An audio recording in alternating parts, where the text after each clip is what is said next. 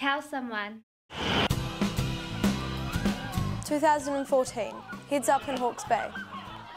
I reckon this time you'll get it.